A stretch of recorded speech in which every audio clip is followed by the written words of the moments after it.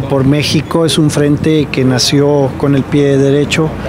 puesto que eh, tres partidos que están anteponiendo sus intereses particulares de grupo,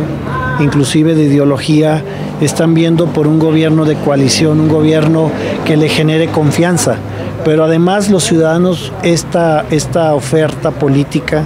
la están tomando de la mejor manera, puesto que las encuestas, el Frente por México está arriba de cualquier, de cualquier partido o coalición eh,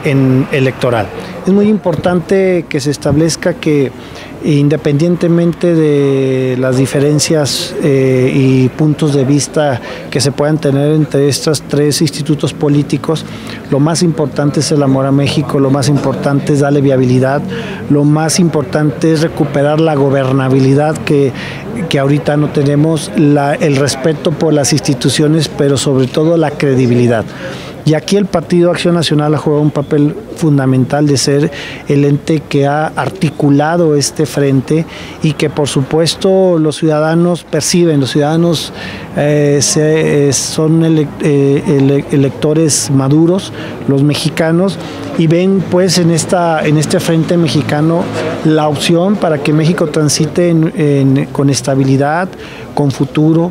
eh, recuperando las instituciones, combatiendo la corrupción y la impunidad. ¿Cómo ves lo que se mencionó eh, entre Margarita Zavala, Rafael Moreno Valle y también el, pues el dirigente ahorita en este momento del PRD, que es el jefe de gobierno este, Mancera, de que piden que se abra esta convocatoria para poder elegir al presidente de una manera diferente, que no sea en línea para que sea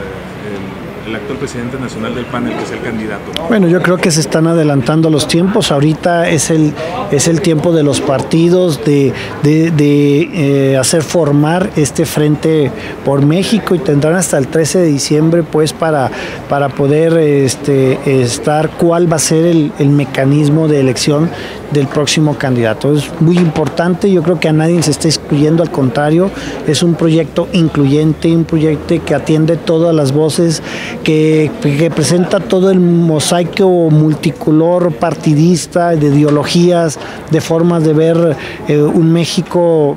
con, un bienestar y un, bienestar común. A nadie se está excluyendo. Yo creo que es una forma de alguna manera de, eh, interponer sus puntos de vista. Así lo quiero tomar, pero ahorita no es el momento de elección de un candidato. Ahorita lo que se, lo que es el momento era el momento